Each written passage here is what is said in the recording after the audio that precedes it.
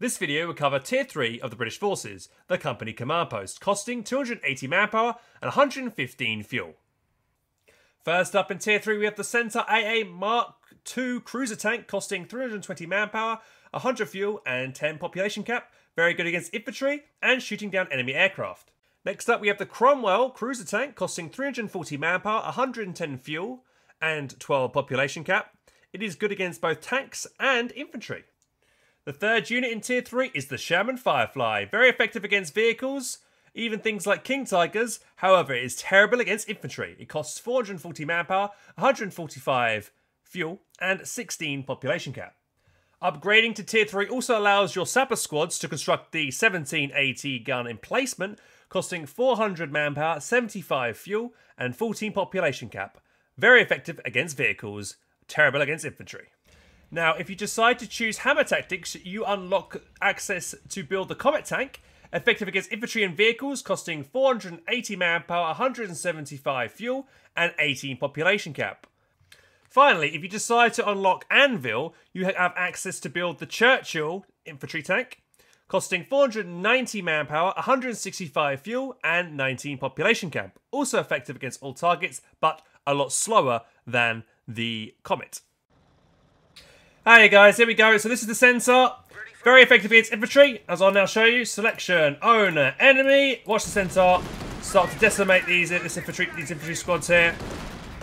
As you can see, enemies in no cover. The Centaur will quick will make short work of them. One other thing, guys. Once the Centaur, you can put hold fire on the Centaur. But let's say the Centaur got a stripe of veterancy. It unlocks the ability for 30 munitions. You could do a line of fire like this. So you could do a, a strafing run like like so. Which allows you to get a lot of nice quick about DPS in. So it goes backwards and forwards twice. And as you can see, that quickly wrecks infantry. Any units that kind of clumped up in a big line like that, you can absolutely wreck. It's worth noting, guys, that if you use the strafing ability and you make the uh, the arc of it very tiny, the um, your centaur won't just shoot in that that arc that you've designated for it, right? Uh, if you do it like this, it'll still go. A, it'll do a long strafe, as you can see here. So make sure you dictate the entire length of how how you want to fire. So generally, what a good idea with the centaur guys might be is if your opponent's pushing towards you, you might want to do do the strafing run like this. Because as he retreats, he might get hit by it. Like so which is quite nice. And that is the Centaur's 30 munition ability to strafing fire.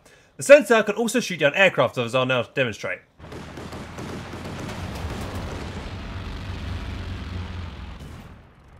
There you go, one plane's gone down. There you go.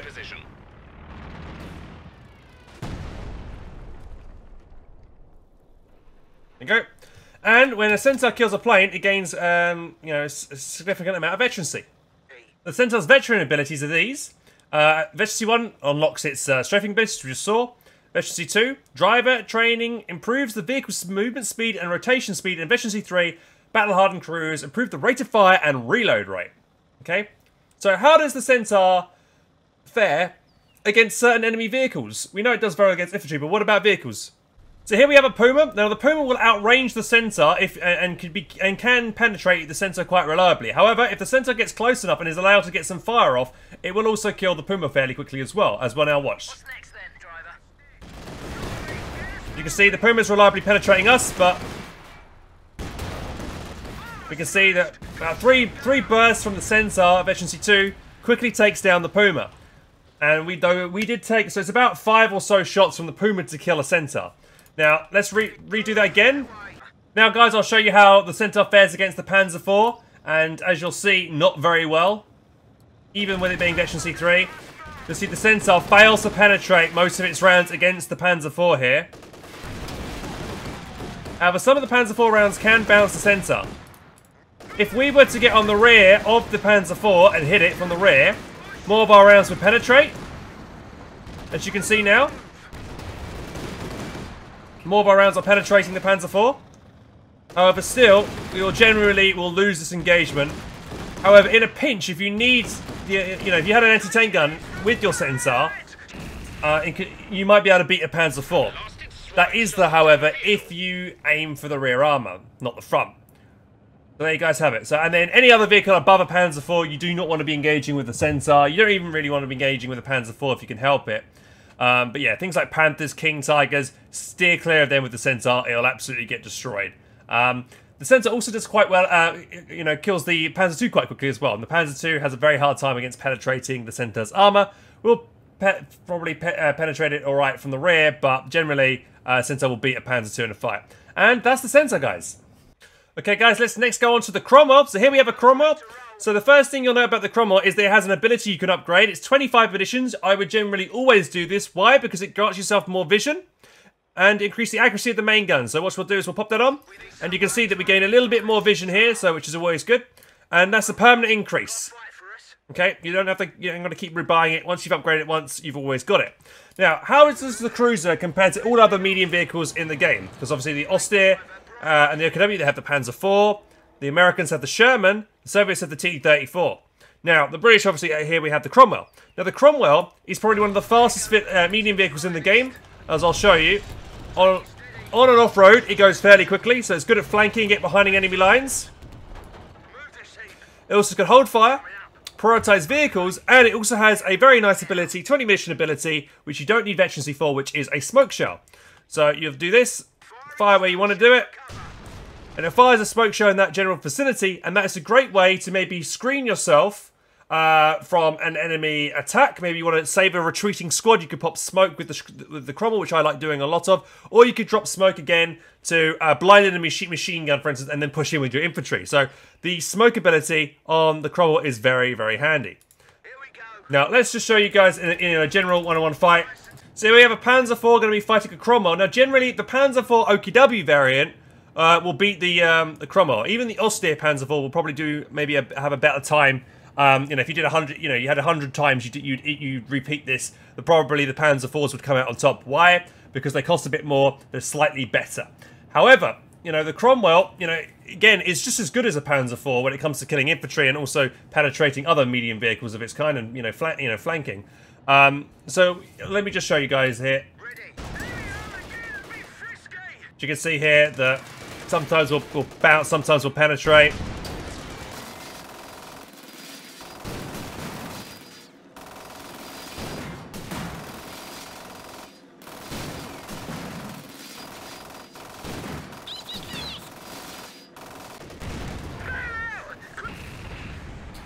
And there you have it. See, the, so the Panzer IV beat the Cromwell there.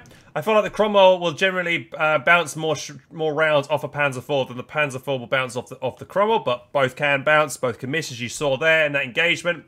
Um, but yeah, generally the Panzer, you know, the Panzer IV isn't as fast as the Cromwell, and um, you know, as the Cromwell is slightly cheaper, um, you can make more of them potentially, and uh, they're good for maybe flanking and maybe taking out high value targets like things like Stukas. Um, or you know, if you get a couple of them, you can flank in. Again, it's all about um, combined arms you know, you use if you use the Cromwell in conjunction with an anti-tank gun, you'll be able to beat an enemy Panzer or even a Panther, for instance. So uh, it's just a, it's all a matter of how you use your units uh, in a fight. But generally, Cromwell is a very good tank. The Cromwell's veteran ability reduces the fire smoke shell ability, the cooldown of that. Uh, Veterancy 2. Battle-hardened crews improve their main gun targeting and rate of fire. Veterancy 3. They navigate the battle with ease, improve targeting, and increase weapon penetration. So they've uh, a bit faster and, you know, better, better penetrating efficiency 3. But that is your Cromwell.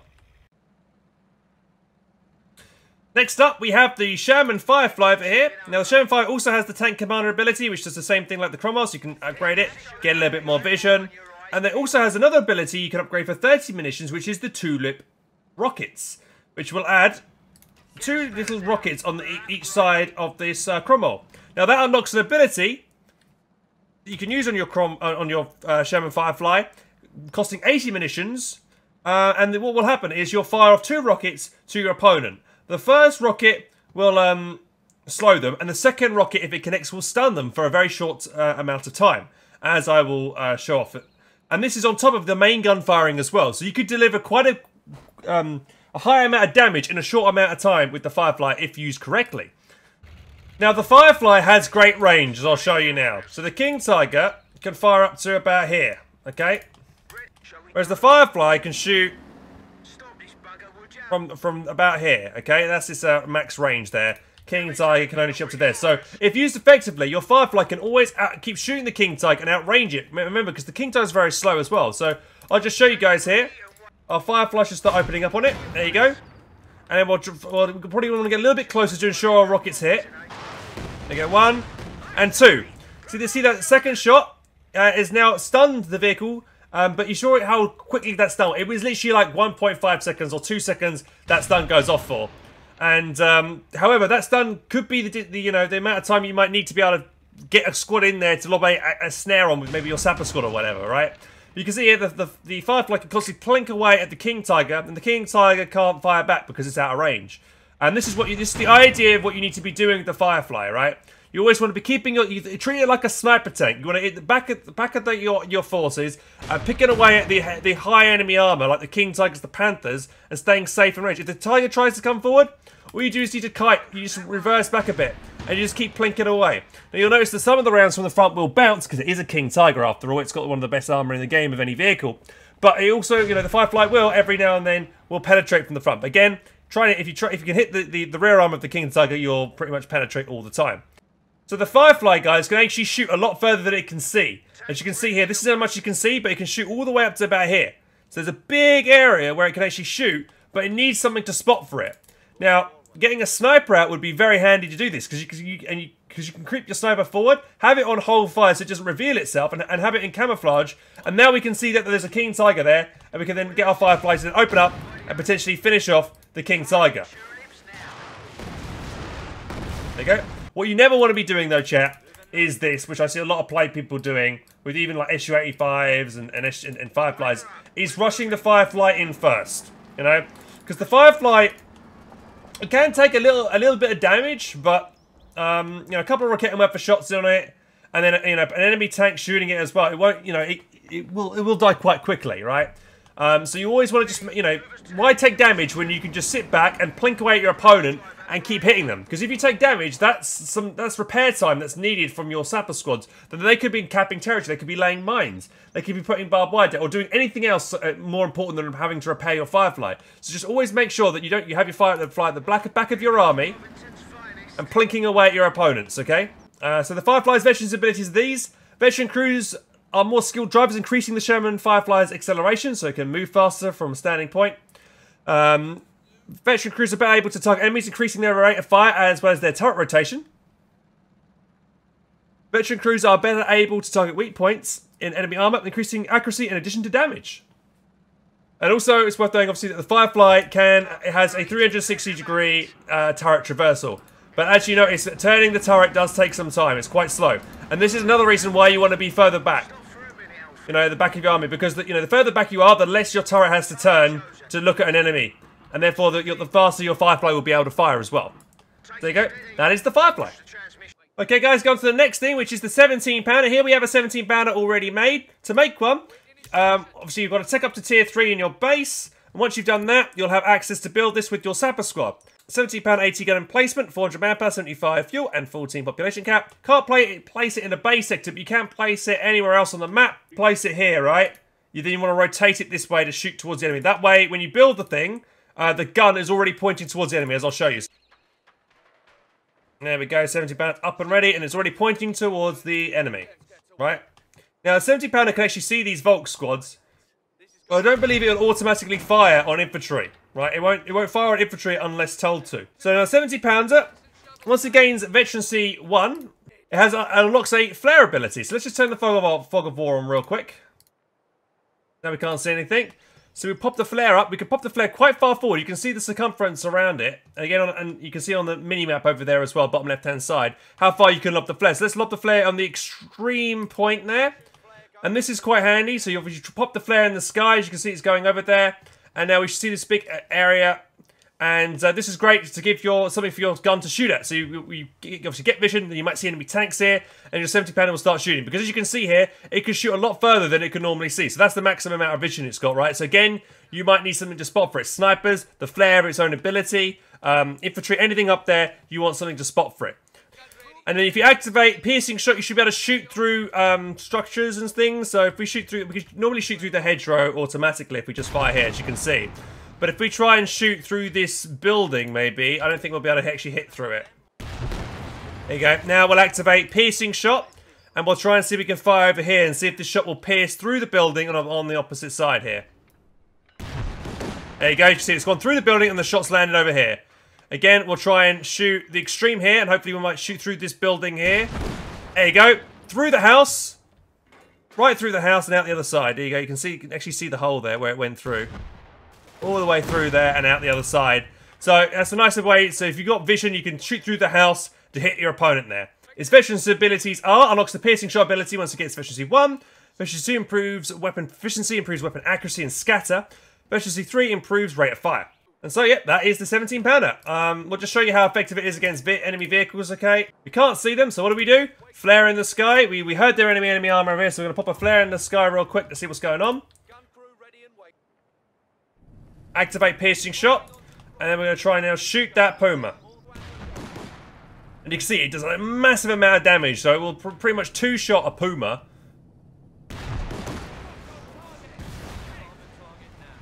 This is how much damage it'll do against a normal Tiger.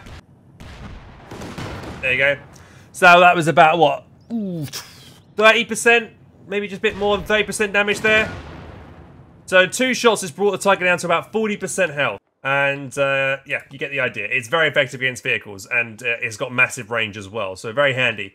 Uh, but again, um, the counter to the 17 pounder is indirect fire or thing or infantry coming up with flamethrowers, that kind of thing, or Shreks. So you need, need to make sure that you've got um, you know units nearby to repair. You know it's in a safe location, so you've got you know it's not too far close to the front lines. The ideal place for a 17 pounder is probably maybe covering a VP point near the center of the map, so it's got a lot of you know it can cover a lot of ground. Um, and, uh, you know, you can, for instance, you might want to put some mines down here on the flanks of your um, of your 70 pounder to stop enemy infantry getting closer. Now, your enemy opponent might, you know, OKW players might do, uh, use LeIGs to bombard it, or Ostheer players might try mortars, mortar half troops with incendiary rounds. Um, generally, if you've noticed your opponent having those things out, it's probably not a good idea to go for a 17 pounder in the first place because, um, you know, if you're trying to repair it, and, and mid repair you get attacked again, you're likely to lose your sapper squads, as we talked about in the video beforehand. So generally, like you, 70 pounder is okay if your opponent hasn't got much indirect fire. If uh, your opponent um, does have a lot of indirect fire, then you probably might best want to go for Fireflies instead of the 17 pounder. Let's talk about Hammer and Anvil. So what does Hammer and Anvil do, right? Okay, so first off, Hammer costs both things cost 200 manpower and 50 fuel. You can only lock one or the other. Once you lock in one, you can't get the other stuff. So Hammer gives you access to the Comet Tank, the Gammon Bomb on your infantry sections, and emergency war speed along with track vehicle. So we'll choose this one first. Like so. And now we have access to build the Comet Tank. And now you can see we can no longer have access to build the Churchill that's locked out. So what we do... Now, you see our infantry sections now have access to lob gammon bombs, so 50 munitions. You do not need to have upgraded the grenade package, the Mills bomb package, to actually use the gammon bomb. So that's quite handy. And this is a a, a, a grenade which, with a lot of explosives, it's got a, longer cool, a longer um, time to explode. As I'll now, well, a lot of normal Mills bomb along with it. So you can see the Mills bomb blows up a lot quicker. It's like a second it takes to blow up, and the and the uh, the Gammon bomb is about three seconds or so. But if this goes off, it will I'm absolutely wipe whatever it, what, you know, anything in that little area, it will, it will blow it up and can completely kill it. So it's a lot more powerful. Uh, it costs twice as much, but is, is very good. So that's the ability there. So if we were making um, our standard, for instance, Cromwell. So Cromwell's, your Comets, will now have access to um, emergency war speed. Now they can only gain emergency war speed, chat, once your engineers give it to them. So well, you need to come up, get yourself a uh, your, your, Royal Engineers, your Sapper squads, and then you need to come over to the vehicle. Even if it's a full health, you click repair on it, and then your your Sapper squad will come over to it, and they'll slow. You can see this little um, bar here. Well, once, once that is completed, that'll give the vehicle access to the emergency war speed, as we'll now see. There you go. So now we've got war speed enabled. Veterancy 3 Cromwell with war speed is one of the fastest things in the game, chat. So, um, combat, veterancy 3.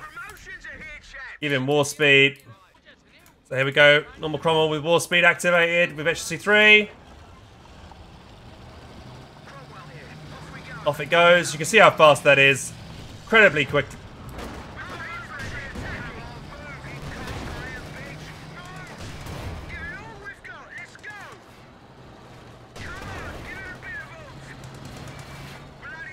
Too fast for you, boy. And then we're out of there.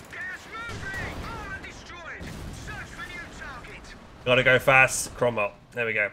Now, the war speed can be activated on all vehicles. Um, even you can give, you can activate war speed on, for instance, your UC to make it go faster, or your Centaur. Um, and then let's look at tracking vehicles. So here we go. So the, the, the track vehicle ability. Uh, tank crews are trained to track enemy vehicles they have hit. Vehicles are hit will remain visible for extended period of time. So once you hit an enemy vehicle, even through the fog of war, uh, it will stay visible for a short amount, for a little bit longer than it normally otherwise would which will allow, for instance, anti-tank guns and other things to then lay, you know, to get more, maybe more shots in potentially, uh, if they can't normally see it. Okay, guys, let's talk about the Comet. So what is good about the Comet? Now, the Comet is one of the best vehicles in the game. It's good against both enemy armor and killing infantry. Um, it's quite heavily, got quite a bit of HP and armor itself, so it could take a bit of a beating. Um, it's got a couple abilities, so it's also got the tank commander to give it more accuracy and vision, like as we've gone through on other vehicles. Uh, it can lob a grenade outside the hatch, which is very unique. Um, Churchills can do this as well, but Comet, uh, but standard vehicles like uh, Cromwells and Centaurs can't. So here we go. We just lob a grenade. Hatch lobs out, and the grenade blows up. Quite effective against enemy infantry. If the enemy infantry is around the tank or anything, or you want to lob that against an enemy support weapon, very good. There's a very distinctive animation as well. As you'll see, the hatch will open up. The hatch will open up and they'll lob the grenade out like so. so if you're playing against the Comet, you'll watch for that um, the animation of this little hatch opening up here, and then you'll know that grenade is imminent. Um, the Comet can also fire a smoke shot like the Cromwell for 20 munitions as well. However, once it gets Veterancy 1, it unlocks the ability to do a white phosphorus shell. Now this also costs the same amount of munitions, it also blocks vision, however it damages the enemy and slows them down. So let's say we had an enemy like support weapon position and uh, you knew where it was, so you could move in, so your Comet can easily take a shell, a shell or two from this. You come in here, you lob down the white phosphorus round like so, you would pull away. He won't be able to shoot back because of the smoke's blocking his line of sight, and you can see here, how that white phosphorus cell is slowly weakening that crew. So then I could come back in there and then fire off one more round and then quite quickly finish them off. Okay, same thing. Let's say we had uh, uh, some Volks Grenadier squads attacking us. So we have a group of Volks pushing in towards us. We notice them rushing in, charging in. We wanted to maybe stop them from pushing in so fast, so we'll lob the, the white phosphorus right in front of them. Like so and you can see that the guys that are caught up in that in that smoke, they're, they've they're, they're considerably slower than the guys in front that weren't really hit by it much. Okay, it slows them down, and if they stay in it, they take it, they take a lot of damage. Okay, and uh, as you can see, we'll just drive around a bit and show you how effective the the. Uh... so we'll lob the grenade out the hatch there, like so. It goes the grenade. Potentially crush them as well. There you go. Very effective against infantry and also armor. However, it's worth noting that the, the, the, Comet is one of the most expensive vehicles in the game. If you go back to the base again, it costs you know 480 manpower, 175 fuel. So it is quite expensive. But if you keep it alive and it gets more veterancy, it'll do quite well. So veterancy 1, uh, as we said, unlocks the white phosphorus smoke shell ability. Uh, veterancy 2 uh, improves the weapon tracking and accuracy. And veterancy 3 improves the vehicle mobility. The crew will defend the tank with grenades and improve reload time. So yeah, veterancy 3, I believe it will periodically just lob grenades at our enemies um, without having to sp spend munitions for it. So let me just show you guys this again. So uh, we'll just spawn some again, some more OKW Volks around the, the tank. Selection owner enemy. And you'll see that it'll just be grenades will be casually lobbed from the tank towards the enemy. There you go. There goes a grenade off there.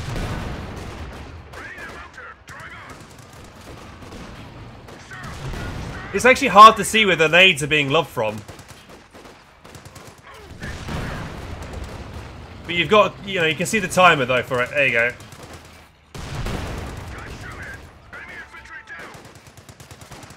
So it seems to lob two grenades every so often when enemies are... There you go, there goes another grenade out the front.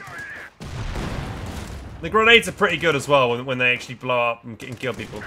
There you go, and that's all free. You haven't got to spend any resources to lob those grenades there. And you can also lob another, you know, your standard grenade out from the hatch as well. Um, so now we'll just show you guys a, um, a Comet versus something like... So against a Panzer IV, Comet will win all day long. Against something like a Panther, it's more of an even fight. Uh, both times, you know, both both likely to bounce off their armor here, also penetrate as well. And since we're Veterancy 3, we probably should win this fight. We fire faster than he does. Again, we both take quite a long time to kill each other. Um, so again, you want obviously other things helping you out here. Maybe a Firefly, an anti-tank gun, that kind of thing.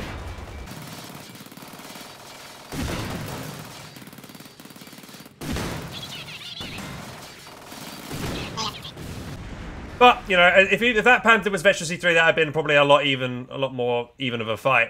Um, but yeah, hopefully that shows you guys the Comet is very good against everything. Um, but again, it's very expensive. It's also fairly uh, quite quite fast. And uh, yeah. All right, guys, on to the final bit of the boot camp, which is Anvil. Uh, in tier 3, so Anvil, again, 200 manpower, 50 minutes, 50 fuel. Um, it unlocks the Churchill. Uh, allows your engineers to upgrade heavy engineer package. Uh, airburst shells for these 25 pounders in your base. And advanced warning. Capture territories give increased vision. So let's upgrade that right now. So here's your standard Churchill. Now,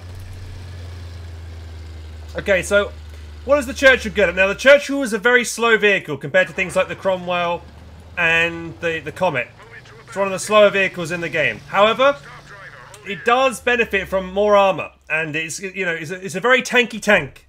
If uh, if you forgive me for that for that expression. Uh, it's very, it's very good against infantry. It'll do quite, it'll do very well against Panzer IVs and things like that. So if your opponent is spamming Panzer IVs, the Churchill would be pretty good, I guess, because um, the Panzer IVs will have a very hard time against penetrating the Churchill, um, and the Churchill will, will, will, have a fairly easy time against penetrating them. Um, so yeah, good, good against infantry and slow. So it can also, Veterancy 1, it gains the ability to lob grenades, like um, the Comet can. So combat, Veterancy 1, like so. Lobs grenades again. You'll see the, the hatch open. Grenades lobbed out. Blows up and kills infantry.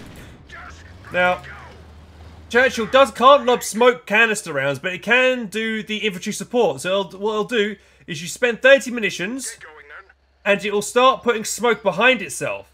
So this could be a good way to screen for your infantry as they push forward. So you can push forward like this, and it makes a nice big smoke area, like in, in, you know, around itself as it pushes forward, right?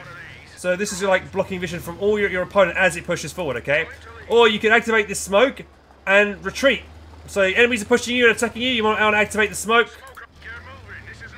So you can reverse back through your smoke and, and have, have, some kind of cover for yourself. Um, so it's a moving smoke screen, which is quite nice. Okay, so there you go. That's 30 munitions for that ability. So let's have a uh, OKW Panzer 4, tank Panzer 4. Okay.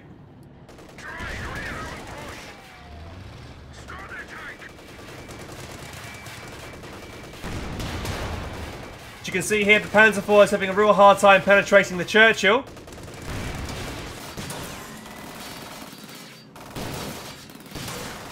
Also looking like the Churchill's also having a hard time as well, but... You can see here, that one round that penetrated for the Panzer IV did about, what, no, it doesn't even look like 10% health. Every round that the Churchill penetrates does about 20% health damage, I believe.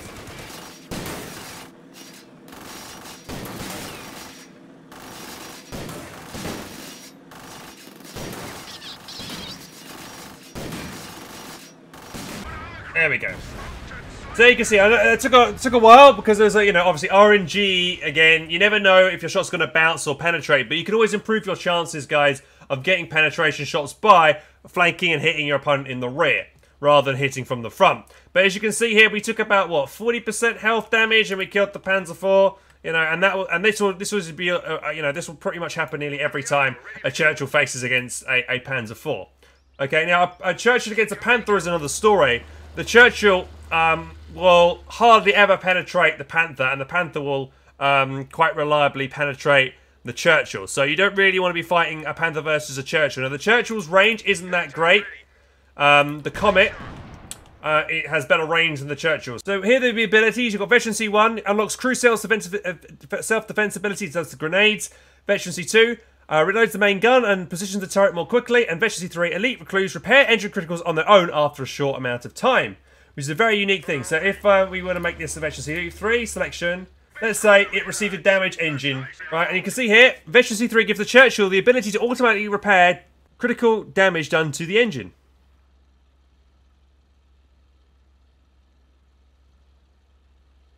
There you go. Engine repaired. Didn't have to do anything, and it repaired the the, the, the, the damage after a short amount of time. It received that that, that, that damage. So there you go.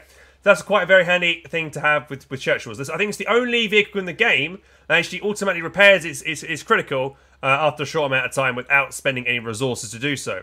We've got a commander. You might be wondering throughout this entire game, the, series, I've got the, you know, all my vehicles have had this ability here. This is a specific commander ability, which allows me to repair without having any units nearby. But we won't go into commander abilities for this video. Uh, but I'm just, you know, saying that is a commander ability that you won't normally see that ability on your standard units. Okay, so let's go on to the second thing um, in Anvil, which is the heavy engineer. So you get engineer squads out of your base. You probably have them on five man by now into the late game, so they're five man squads. And they now unlock this other ability down by the bottom next to their minesweeper, which is called Heavy Engineers. The Royal Engineers get additional equipment, allowing them to construct buildings and repair faster, but limiting their mobility in combat. They're also equipped with Vickers K light machine gun. So, well, let's upgrade one. So you can see now, they gain these Vickers, this Vickers K machine gun, which uh, makes them a little bit better in combat. But if we were to move these squads forward together, this squad will be faster than that squad because that is, you know, this has made them a little bit slower. It's not much, mind you, but it has made them slightly slower. So I'll now put two vehicles here, and you'll, we'll compare the damage. So we'll put two Cromwells here. They're preparing basically the same time here. And you'll see the guys with the heavy repair kits will repair a lot faster than these guys.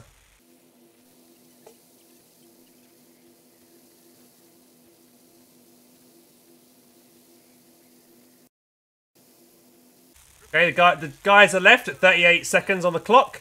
And the other guys on the right are still repairing. We'll wait until they finish and see how much quicker in terms of time that was. Done. So almost 20 seconds faster, chat.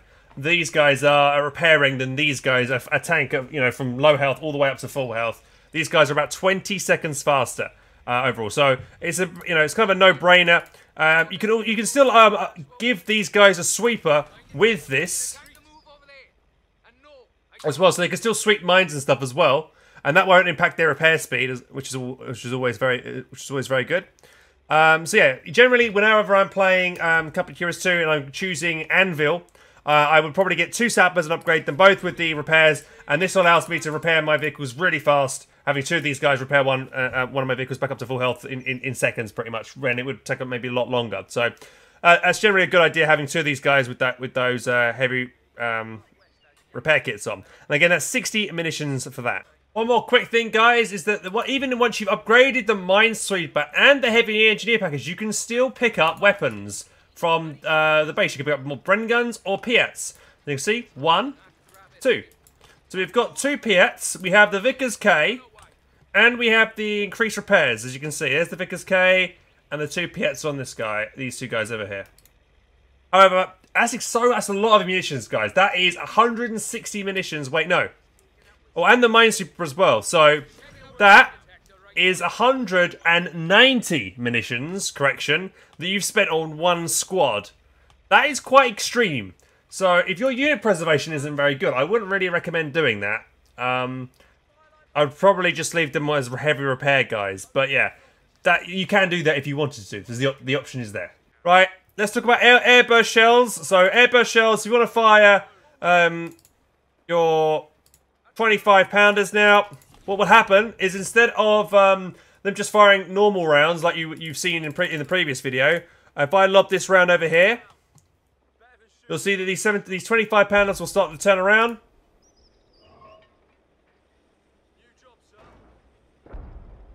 And what you'll see is you'll see airburst shells alongside, there you go, there's one there, your normal rounds as well. So you get almost like twice the amount of artillery here. And you'll see these airburst shells will do very good, have very good effect against this infantry. So there you go, you can see that really hurt them and these tanks are blinded. And you can see there's airburst shells. If they connect with enemy infantry, they do massive amount of damage.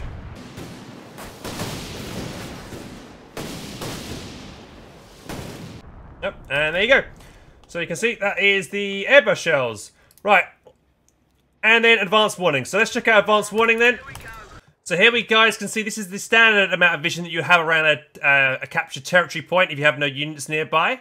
So with advanced warning now we can see the entirety of the of the point. Right, so we can see what you know whenever a squad is capping our point, we can see it clearly. Um, you know when we uh, when we own the point. So here are all the points. You can see the entirety of the point we have vision, and and that's you can only get that through anvil uh, and not hammer. Right, finally, guys, so that's all the abilities there. So let's just go through finally. Why would you choose maybe a Comet or over a Churchill or a Churchill over a Comet? I mean, I, I would personally put the choice down to uh, my resource income and also what I want more. I mean, both the Churchill and Comet are good, but I'd probably always maybe pick a Comet over a Churchill because the Comet is faster. Um, it can it has more range. It's more reliably. It has a, a bigger gun, so it can penetrate enemy. Uh, you know higher level enemy armor, so Panthers and above more reliably. Um, and also the white phosphorus round is very good. So I'd always generally pick the uh, the Comet over the Churchill. However, though, I really like the repairs of the um, of the sapper squads. So generally, I might never even pick Churchills, guys. I might just pick Anvil, and just for the repairs on my on these guys, and also, also the, obviously the vision and the airburst shells for my infantry sections when uh, you know infantry sections and the sniper when they love the coordinated fire ability. Um, because I feel that's better than the other stuff that you get with the uh, you know with with, with hammer. Uh, the war speed, you know, yeah, it's free, which is good, I guess, uh, and allows you to flank. But you know, I'd rather the, the, repairs because you want to get your vehicles back into the fight as fast as you can. Um, you want some decent artillery to be able to dislodge your opponent's support weapons, and the airburst shells give you that. Um, but yeah, and then you know your you know your Cromwells.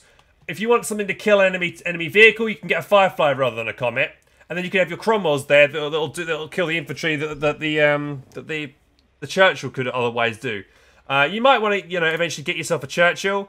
Um, but generally, I'm I'm more happier going with something cheap like a Cromwell's because you know a Churchill's expensive to lose, right? Um, and it might end you might end up feeding the enemy veterancy with a Churchill because you know as long you know you, you can take a lot of damage with a Churchill, but if you if you're letting your enemy constantly penetrate you, every time they penetrate you, they they get a big chunk of veterancy, and you don't want to be playing up against Panthers that, you know, that's the way you end up playing against Panthers with it 4 on 5, you know, King Tigers high level like that with the, with lots of veterancy because you feed the veterancy. Um, so you don't want to, you want to avoid that. And with, um, you know, with cheap Cromwells, you can rush in with a Cromwell, maybe take out a Stuka, lose the Cromwell, but at least that was a good, maybe a fairly good trade, maybe at the time. You can't really do that, you know, with a Comet, it's super expensive to do. You don't want to waste a Comet to try and do that. You want something cheap and fast, you know, that, that can do that. So that's probably what I would do. I'd probably try and normally pick Anvil over Hammer, in my personal opinion, because again, pairs are great, airburst shells, the extra vision you get, and uh, I mean, you know, your, your Fireflies and Cromwells can do pretty much the same thing a um, a Comet can do. Uh, and then you can have more. I, I kind of generally prefer to have more guns firing than than less. So obviously, because as the the the, uh, the Comet costs a lot more, as we saw. Um, no, Cromwell, you could probably maybe get almost two Cromwells out for the price of one um one Comet.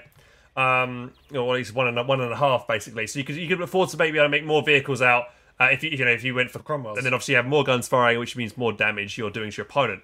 Uh, and again, you know, you don't want to throw all your eggs in one basket, right? That's why I don't normally like going, you know, recommend people going for King Tigers when they're playing OKW, um, because that's a lot of uh, resources invested into one unit. And if you lose it, which is very easy to do because it's just a slow, slow moving tank, uh, and then you know all that, all of those resources are wasted. So at least here, if you lose one of your Cromwells, it's not the end of the world, right? You might be able to come back into the game. You lose something expensive like a Comet, uh, maybe not so much.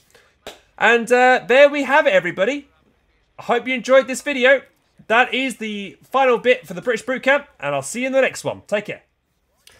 Hey guys, thank you for watching that video. If you want more content, please click on the link over here and over here. If you would like to subscribe, click on the button down here. Also click on the notification bell down there so you're notified whenever I post new YouTube content. I also stream nearly every single day on Twitch. Uh, I have a Twitch channel, twitch.tv slash helpinghans.